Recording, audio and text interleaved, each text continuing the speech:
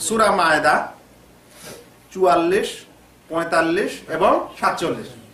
যদি কোনো ব্যক্তি বলে যে যেহেতু আল্লাহ প্রদত্ত বিধান অনুযায়ী ফয়সলা হয় না, তাই কাফের, আর যারা রাষ্ট্র পরিচালনা করে, এদের আন্ডারে বিচারালয় থাকে, তাই এরা কাফের। যারা বিচার করে, ওরাও কাফের। যারা বিচার মানে তারাও কাফের।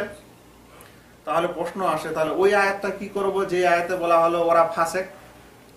ওই আয়াতটা কি করব? যে আয়াতে তাদেরকে বলা হলো জালেম, অর্থাৎ পঁয়তাল্লিশ নম্বর আয়াত এবং সাতচল্লিশ নম্বর আয়াত। তাহলে ওইটা কাকে বলব? ওই সকল লোকেরা কিন্তু ওই দিকে চুপ থাকবে বা বলবে, ওই জালেম আর ওই ফাসেক মানেও কাফের।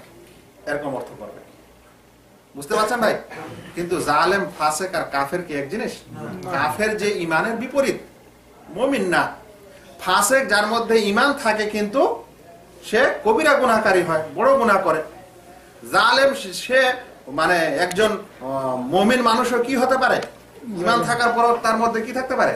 জুলুম থাকতে পারে, অত্যাচার থাকতে পারে, অত্যাচারী হতে পারে। কিন্তু ওরা একচেটিয়া সবকে কাফের বলে।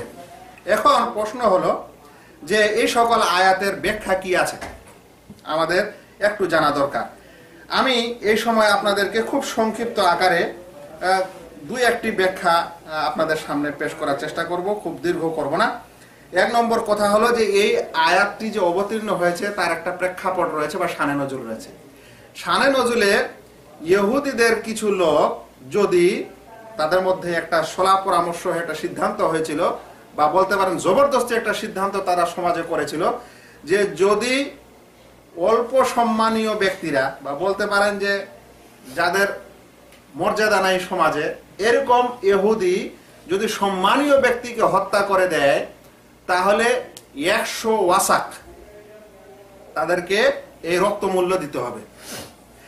আর যদি কোন সম্মানীয় ব্যক্তি অসম্মানী ব্যক্তিকে হত্যা করে, তাহলে দিতে হবে ওর অর্ধেক, পঞ্চাশ ওয়াসাক। হাদিসটি ইমাম আহমদ বর্ণনা করেছেন।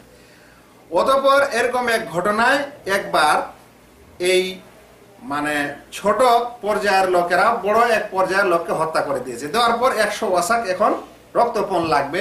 এটা যখন হয়েছে, তখন ওই গরিব ব্যক্তিকে বা বলতে পারেন ওই অবহেলু অবহেলিত মানে ইহুদিকে যখন বলা হলো, তখন ও বলল যে, একই সমাজে বসবাস করি, একই দেশে থাকি, সবকিছু এক, আর আমাদের বেলা আবার একশো, আর তোমাদের বেলা আবার পঞ্চাশ।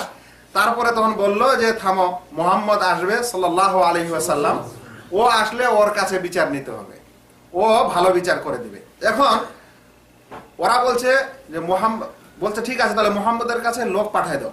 বিচারটা কিন্তু ডাইরেক্ট নিয়ে আসেনি। গোপনে একজনের মাধ্যমে এসেছে জেনে আসো ওনার মতামতটা কি। যখন দেখল যে মোহাম্মদ সাল্লাহ সাল্লাম আমাদের মতো করে বিচার করল না, তখন আর কিন্তু বিচার নেইনি আল্লাহ রসুল সাল্লাহ সাল্লামের কাছে। এখন আল্লাহ তালা তারপরে তখন এই আয়াত অবতীর্ণ করলেন এবং সেই আয়াতে আল্লাহ রাবুল আলমিন ভালো করে বলছেন যে ইন্না আনজালনা তাওরাতা, আমি ও আমরা তওরাত অবতীর্ণ করেছি, তাতে হেদায়েত আছে, তাতে নূর আছে, জ্যোতি আছে। এ সকল কিছু বলতে বলতে তারপরে এর মাধ্যমে ফয়সলা করা হয়, ওদের মাধ্যমে তারপরে শেষ পর্যন্ত বলা হচ্ছে যে ওলা তাস্তারু বে আয়াতি সামানান কালিলা আমার আয়াতকে অল্প বিনিময়ের মাধ্যমে তোমরা বদল করে নিও না, এই বিধানকে তোমরা পাল্টে দিও না। তারপরে বলছেন, ওমাল্লাম ইয়াহকুম বিমা আনজালাল্লাহ ফাউলাইকা হুমুল কাফিরুন। অতঃপর যে আল্লাহ তাআলার অবতীর্ণকৃত প্রদত্ত বিধান অনুযায়ী ফয়সালা করে না তারা কি হয়? তারা কাফের হয়ে যায়। তাহলে বুঝে যাচ্ছে ভাই যে কারা কাফের? আয়াতটি কাদের জন্য অবতীর্ণ হয়েছিল আসলে? আসলে ইহুদিদের জন্য। কিন্তু আয়াতটি সবার জন্য আম। ওদের প্রেক্ষাপটে এসেছে কিন্তু সকল মুসলিমের জন্য আম। কিন্তু কখন কাফের হবে তাহলে? যে আল্লাহ প্রদত্ত বিধানগুলিকে অস্বীকার করবে যেমন তারা অস্বীকার করেছিল। যে আল্লাহ তালা এটা বিধান আমি মানব না। আমাকে কি দেওয়া হোক? অন্য বিধান দেওয়া হোক। অস্বীকার করছে। তাহলে এরকম হলে কি হয়ে যাবে? কাফের। হয়ে যাবে। এই কথাই অন্য ব্যাখ্যাকারীরা বলেছেন যে ওই বিধানটা বদল করে অন্য বিধান বাস্তবায়ন করতে চায়। ওই বিধানটা নিবে না। এখন কি করবে? ওটা বদলে একটা নিজের বিধান আবিষ্কার করবে। তাহলেও কি হয়ে যাবে? কাফের হয়ে যাবে।